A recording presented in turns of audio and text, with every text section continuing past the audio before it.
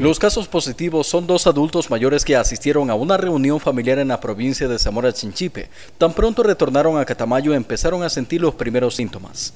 Vicente Burneo, médico responsable de epidemiología del distrito 11D03, señaló que de manera inmediata se estableció un cerco epidemiológico. Mencionar, ayer estuvimos visitando algunos pacientes, de ellos tenemos dos pacientes positivos con pruebas de, antígenos ya realizadas por, por nuestro equipo ya los tenemos en aislamiento, ya tenemos el cerco epidemiológico elaborado.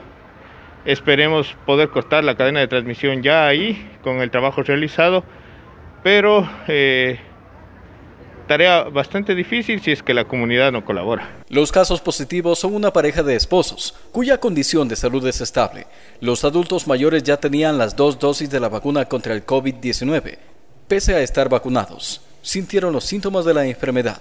Son pacientes eh, de grupo de adultos mayores que ya tienen sus dos dosis de vacunas, aún no tienen la dosis de refuerzo, pero afortunadamente y como lo hemos venido diciendo, la vacuna nos va a ayudar no a que no nos contagiemos, a que nos posiblemente nos contagiemos, pero a que lo pasemos con, con una sintomatología leve, que es lo que está es el caso de los pacientes. Los pacientes están muy estables, eh, están en su domicilio y están siendo monitoreados permanentemente por nosotros. Los pacientes deberán permanecer en vigilancia profesional, además de cumplir el aislamiento. Habrá una observación del personal de salud, a los casos activos y a su entorno familiar, pero también social. Tengo entendido que los señores estuvieron en una reunión familiar en, en una ciudad de Zamora, eh, allá unos de los familiares habían estado con sintomatología, lamentablemente no lo mencionó y el hecho de estar en la reunión familiar eh, estuvieron en contacto directo con entre todos ellos y de ahí los, los casos. Eh, dos, tres, perdón, de las personas viven acá en Catamayo, vinieron acá, presentaron algo de sintomatología y se nos comunicó directamente a nosotros y fuimos a visitarlos y, y por ende salieron positivos. Entonces siempre todas estas cosas creo que voy a, terminar cansando a la ciudadanía con lo mismo, pero siempre les hemos dicho, las reuniones familiares más o, las reuniones masivas aún no están permitidas y no deberían estar permitidas todavía porque aún no termina la pandemia. La pandemia persiste y por ende tenemos que seguirnos cuidando.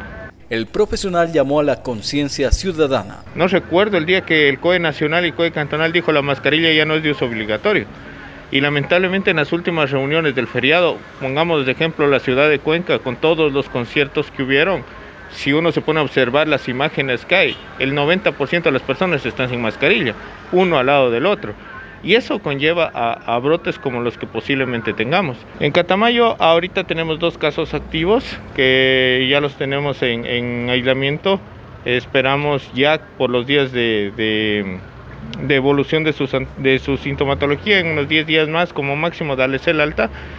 Eh, insistir nuevamente a la ciudadanía, síganos colaborando, por favor. Eh, he escuchado muchas versiones, incluso de autoridades que dicen ya estamos en etapa post pandemia. Mm, perdónenme, yo voy a discrepar mucho con ese término. Aún estamos en la etapa de pandemia, aún no termina la pandemia, que hemos mejorado muchísimo los niveles de contagio, ya no son tan altos como los teníamos. Sí, pero para poder llegar a la etapa post pandemia que todos quisiéramos, necesitamos la colaboración de la ciudadanía. Ayúdennos con las normas de bioseguridad y adicional a eso, ayúdennos por favor poniendo el hombro para todas las personas que les falta su vacuna se la coloquen y para todos aquellos que ya les toque la vacuna de refuerzo, la tercera dosis, acudan a los centros de salud, a nuestros puntos fijos o móviles para poderse colocar la vacuna.